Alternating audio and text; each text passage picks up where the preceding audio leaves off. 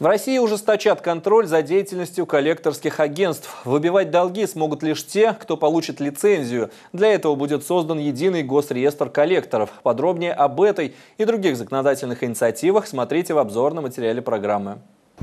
В России создадут госреестр коллекторов. Компании, которые не попадут в этот перечень, не смогут работать на рынке взыскания долгов граждан и фирм. Соответствующий законопроект готовит Минэкономразвития. Согласно нему, компании, работающие на рынке взыскания долгов, должны будут соответствовать ряду квалификационных требований. В частности, иметь уставной капитал не менее 3 миллионов рублей. Госреестр может появиться уже в конце 2015 начале 2016 года. В дальнейшем планируется усиление административной ответственности за неправомерные методы взыскания долгов с россиян.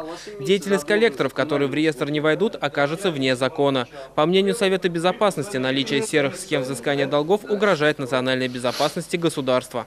Нарушение правил переезда железнодорожных путей могут приравнять к езде в состоянии алкогольного опьянения. С предложением изменить соответствующую статью административного кодекса выступили представители РЖД.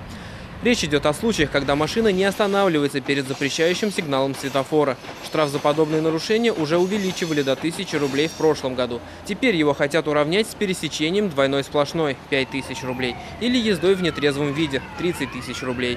О сроках возможного рассмотрения подобной законодательной инициативы в Госдуме пока не сообщается. В школьной программе физкультуры могут добавиться новые виды спорта, такие как фигурное катание, легкая атлетика и мини-настольный теннис. Экспертный совет Миноборнауки России по совершенствованию системы физического воспитания в образовательных учреждениях уже рассмотрел новые доработанные и опробированные программы. Они были одобрены и направлены в регионы в качестве методических рекомендаций для использования в процессе обучения. При разработке этих программ использовали лучший опыт всероссийских спортивных федераций, а к участию в этой работе привлекли знаменитых российских спортсменов.